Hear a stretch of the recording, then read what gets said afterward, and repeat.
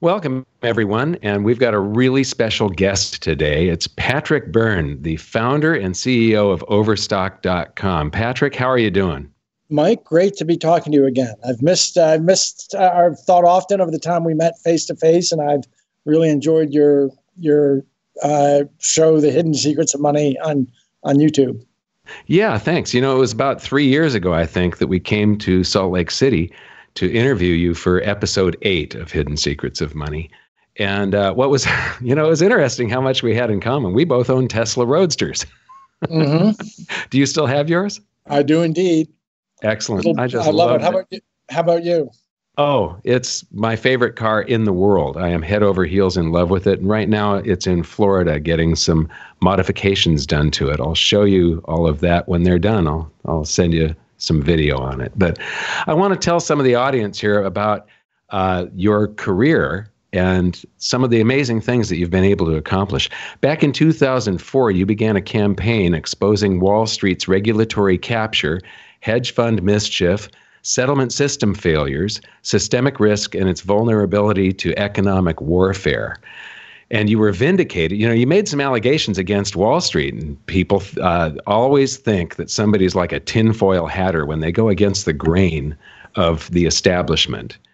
And you know, you went out on a limb and pointed these things out, and then you were vindicated in 2008 uh, when the global economic crisis showed that many of the things that you were warning about were absolutely true. They they actually happened. And then uh, because of that, you subsequently won a bunch of awards. You won the Web Blogs Award for Best Business Blog, the Business Pundits Award for Best Business Investigative Journalism, and Exmark's top uh, site on corruption in the USA. And then over the years, Forbes has named Overstock.com the ninth best company to work for in the country and one of the most trustworthy companies in America. And it, Forbes also named you uh, the CEO with the highest employee approval rating uh, of all companies in the United States. That's pretty amazing. Uh, well, it's better to be lucky than smart, but thank you very much, Mike. One of the amazing things that I found out about you when we interviewed you last time is that you're basically a protege of bo- both Warren Buffett and Milton Friedman, who is one of my personal heroes. I just love Milton Friedman.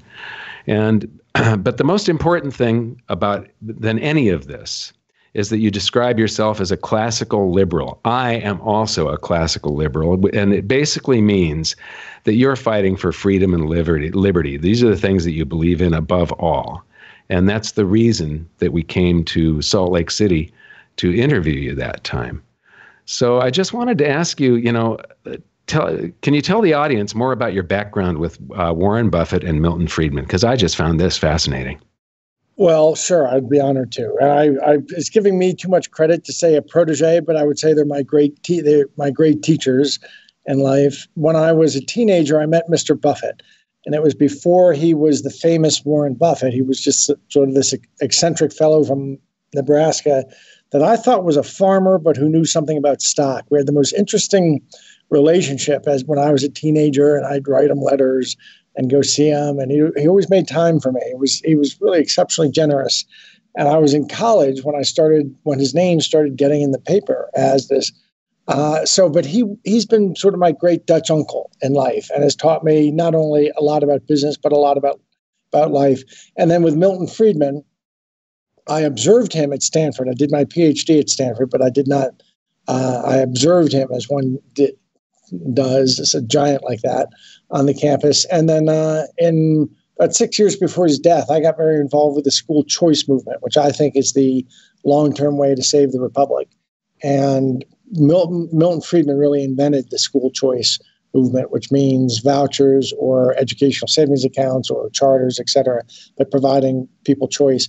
So I got to know him uh, in the last six years of his life, and it was a great honor. Yeah, uh, that's amazing. Now, you had a, there was this extended conversation where you were the intermediary between Milton Friedman and Warren Buffett for quite a while, an economic discussion that they were having. And uh, you had to basically carry the message between them. Uh, tell us about that a little bit. You remember that? Yeah. Well, it was funny just because I knew both of them, and I saw, especially in that period, I saw uh, Mr. Buffett quite, you know, more frequently, a few times a year. I was in the position of taking an argument, carrying it on back and forth between them, discussion, and we were, and it was about trade and among my, many things. But I saw, it's actually I saw maybe the one time I mean, Milton was a fabulous debater, but I have to say I may have seen his argument bested because Buffett was arguing for a modified free trade regime and Milton, of course, was arguing for a uh, a much a much more open one. And he Buffett was making this point about well, eventually there's we're going to hollow out our currency, and then our grandchildren are left with this devalued currency.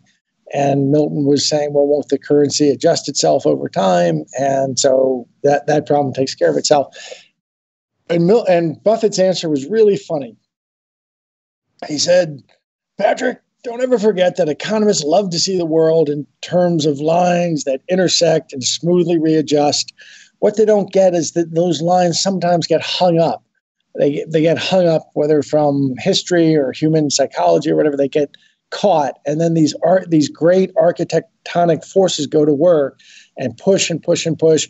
And then someday, somewhere, Patrick, an archduke gets shot. And then that happens and the lines snap, and then there's all this human misery. And I thought that was that's a very Buffett way to explain something. Someday somewhere an archduke gets shot, you know, and then the whole Yeah, you're referring to World War One. Yeah. That's how but that's how Buffett speaks. He speaks in metaphors like that. So I think I I saw his point. I actually I know it would be heresy to Milton, but I like uh, Buffett had a very has a very interesting idea on how to solve our trade deficit that he put forth about 20 years ago. That uh, I guess anyway. Uh, anyway, I'll, I'll stop there. okay. I want to take um, yeah. Uh, what do you think about the current state of the global economy, the U.S. economy, and the global economy, and where it's headed? Well, the deep structure is for something over 100 years, we have been dependent on a, a form of money that is debt based and fractionally reserved and Keynesian multiplied and I think we're living in a magic money tree. And someday it all comes a tumbling down. Uh, the the structural deficit in the United States is reaching such a limit. I don't envy anyone in Washington now. It doesn't look like there's any way out of it without a crisis to me. Uh, and you know that's going to play out over the next ten years at the most, uh, maybe much sooner than that. Uh, so basically, I think that the paradigm we've been in is coming to an end. There's uh, more instability outside the United States. I'm actually really quite pleased and surprised with how well the U.S. economy is holding ha- has been holding up.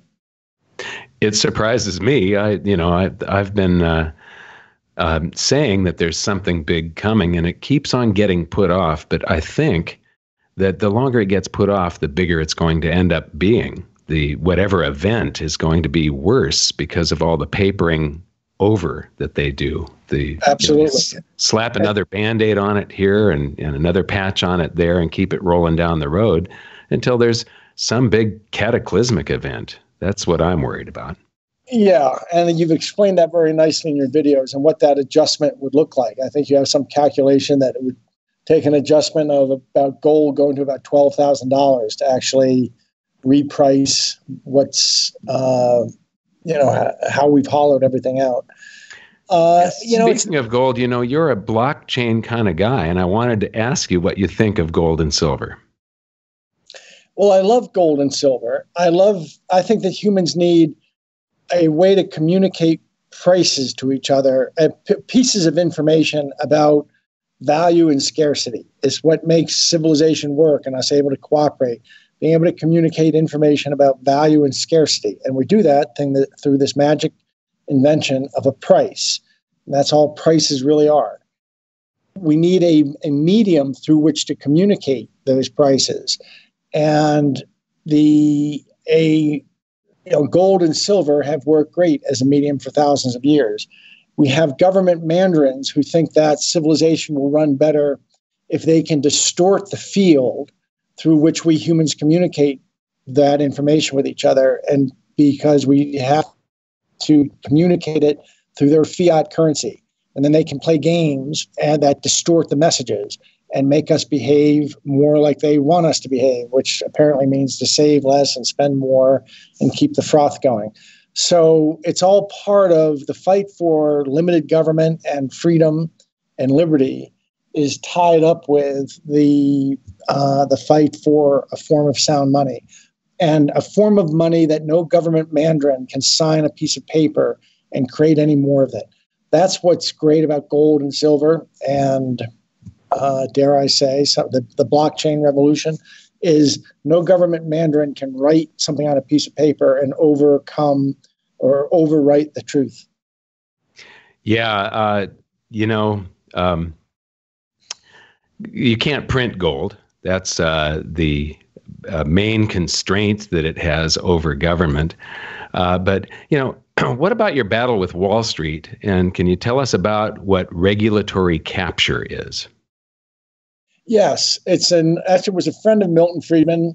Uh, Stigler in 1971 wrote a paper, uh, "Theory of Regulatory Capture," I think was the name, where he he he said that maybe we ought to look at things this way: society sets up regulators to protect us from certain industries, but then we move on. The do-gooders who in society who argued for it, they move on. They have other causes the industry goes to work and over overtakes the regulator, and they do that in different ways. It generally has to do with uh, you, just the message gets out eventually that if you're a good boy at the regulators and you regulate for 10 years and you don't come after the industry too hard, then when you get out, there's a nice fat job waiting for you or on the board of directors or something.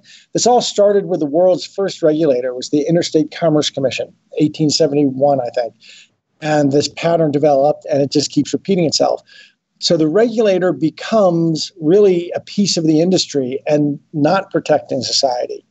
Now, in, back in 2004 and 5, I started talking about this and also the possibility that the capture goes even deeper. Well, there's an expression deep capture, which means that it isn't just the industry capturing the regulator, but capturing the congressmen and the senators and maybe the journalists and and wow. and and all the and I have to say so I knew in 05 that there was a flaw in the settlement system that could crack and bring down the financial system and it's been kind of forgotten to history that that is part of what happened in 08 when Greenspan went before Congress October 23rd 2008 you can look up this quote where he said this is at its core, it's it's fraud, settlement, and securitization. And the fraud was Bernie Madoff.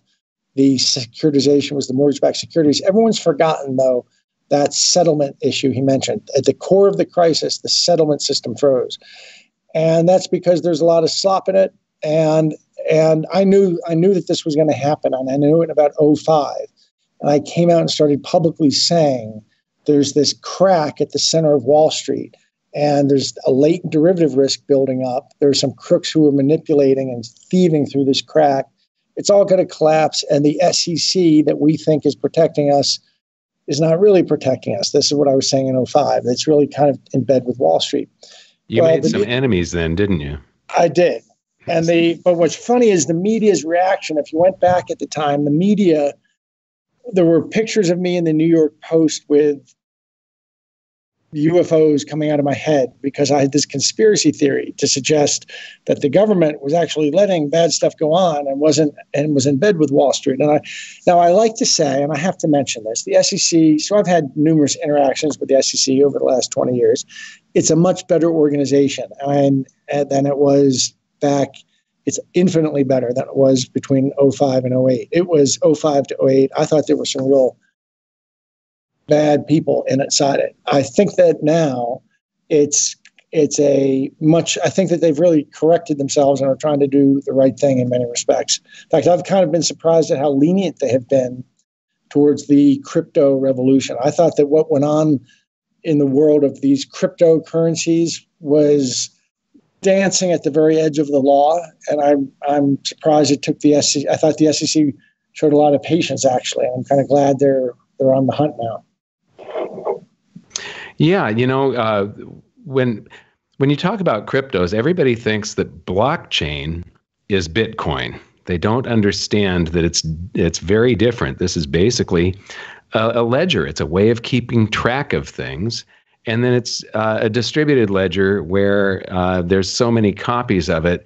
Uh, if somebody tries to cheat it or make a false entry, they're basically frozen out of the system. So it's it's some a somewhat foolproof uh, way of keeping track of things that is fair and and uh, and can be proven. And, uh, impossible to cheat, unlike the institutions of man, which have proven to be sometimes capturable and corruptible. You can't, you know, to some degree, 08 showed us that large, I think an oligarchy, an oligarchy has formed in the US and has hijacked some processes. And they showed that they could buy themselves all kinds of people in DC. And they bought themselves senators, and they bought themselves congressmen, and they bought themselves regulators. They bought everything you could that wasn't nailed down. But even people. So they like get that, to write their own laws regulating them at that point, right? And that's just what happened. But even they can't buy the laws of mathematics. And that's why having this these functions shift into a cryptographically based math cryptographically protected system called blockchain these ledgers that cannot be they cannot be altered or there's no you'd have to cheat the laws of mathematics to cheat one of these ledgers now i think that all kinds of crooks on wall street have ways of cheating the law and ways of, of short circuiting washington to keep washington from reacting more so 10 years ago than now but I mean, I really do, having been a frequent critic of the SEC, I do have to say now it seems to be a, a very professional organization.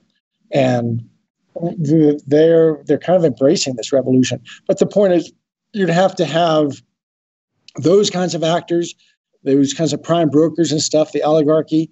Even they can't buy laws of mathematics. They can't break blockchain based institutions. They can they can break and hack and corrupt political institutions and other kinds of institutions built by men, but not blockchain. Yeah, uh, you're right now. You're trying to change the world. This is one of the reasons I'm interviewing you. I've always been trying to change the world for the better, try to make it a better place, try to make it fairer. And you're doing this right now. You've got a uh, a venture called Medici Ventures, and you're trying to renew, remove the middlemen from the capital markets, money and banking, the supply chain, identity, which I want to know a little bit more about, voting, but most importantly, property rights. And lately, you have a new project in Africa where you're working on trusts and deeds and trying to secure people's property rights. And you're doing this by working with the government, I believe, aren't you? We are.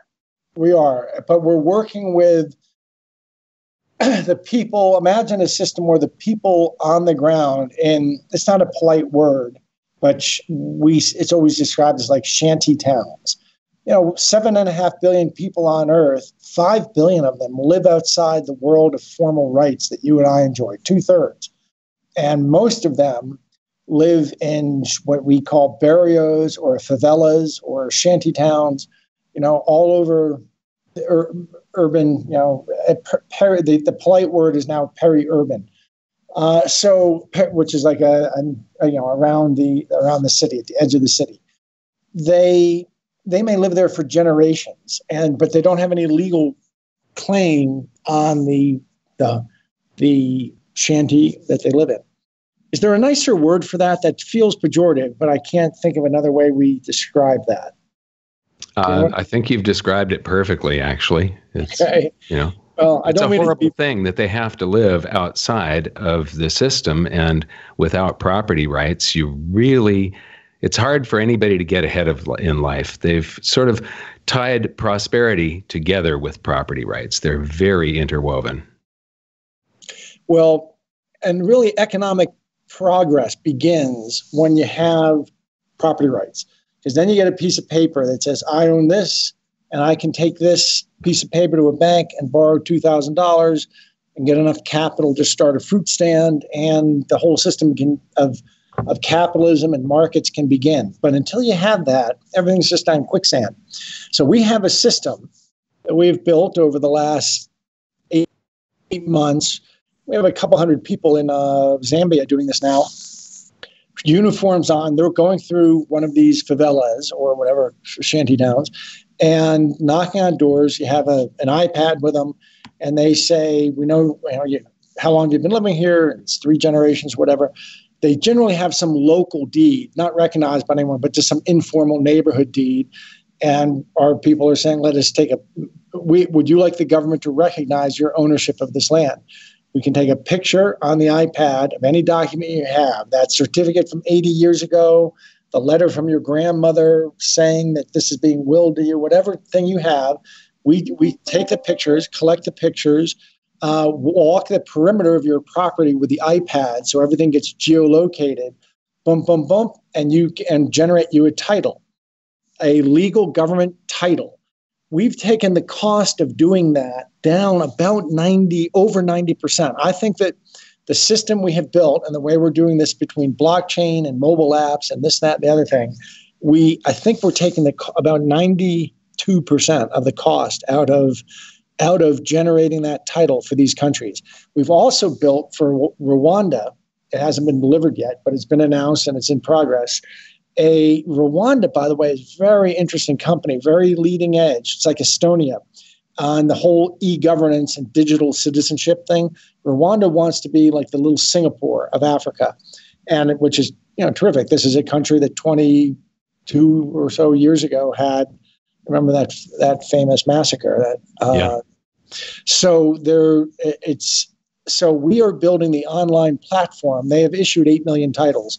We have a a online platform that's like wrapping up, I think, this week. So everyone will be able to interact in Rwanda. You can interact regarding your title, selling it to somebody, eh, willing it to someone, buying something from someone else, all through this platform. The advantage is you don't have to interact with a government official. The advantage of that is it's when you interact with government officials that that what happens, Mike? You're a man of the world. What happens when in the third world when there's a whole bunch of things but that happen, but because of the corruption, uh, there there can uh, be uh, you know they can ask for bribes exactly. Uh, they can prevent things from happening uh, the, where i live you have to go over to this office and get a form and then you go across town to get a stamp on it and then you go over here and it takes weeks to do something that should take 10 out. seconds every one of what? them has his hand out for a little bribe the mexicans mm-hmm. have, have, have a great slang word la mordita the little bite you know, the little bite. And if you're in India and you want to expand your factory, you need to hire 20 more people and buy more electricity. You got to go to different offices. And each one of them, you fill out applications and get stamps and get other people to stamp the stamps and on and on. And every one of them has to be paid off. But if you make it so these kinds of interactions can be done online through a system, and the up the higher ups in Rwanda realize this, they're the ones who, who commissioned this system we're going to be able to do so much in the next five years. I think we have created something we call government as a service. That's really what's developing within Overstock, within Medici. So Overstock, re, you know, that company owns, besides the retail business, it owns this uh, Medici, this blockchain incubator, which has 23 companies that are working in different areas of basically bringing government online and blockchain secure which is not only going to reduce the costs, something like 90%, but it's going to become incapable of being corrupted. I actually don't want to talk about it too much publicly because I'm afraid. You know, so far, no one's really organizing against it. They haven't figured out how much. Basically, the crooks of the world are going to get are going to get really squeezed as blockchain gets adopted, but they don't seem to have figured that out yet. Yeah, they will get squeezed. You know, one of the things that was uh, left out of the conversation here is uh, all of those politicians and uh, bureaucrats that take the little bite, as you call it, the bribes all the way up through the system. Every one of them we also pay through our taxes. And this is a frictional loss of government that is completely unnecessary now that blockchain has just made irrelevant. Yep, yeah, we didn't like their world, so we invented our own. It's so it, you know for six thousand years we've done it this one way by forming and paying centralized institutions to guarantee to achieve trust, so strangers can interact with each other and trust. And we create these third-party institutions, a mint, a land titling office, Airbnb, the Visa card company. They're all the same business model, strain, allowing strangers to interact and who normally couldn't trust each other, but each just have to trust that third party institution. Well, that those institutions can now be disrupted through blockchain. You can achieve trust through these crypt, through cryptography and and smart contracts and such. So really, it's it's really, I mean, it's going to be, I think, more dramatic to watch than the internet revolution itself. Yeah, think of uh, how much more efficient and how much, more, you know, the private sector creates all prosperity. All wealth in the world comes from people uh, working.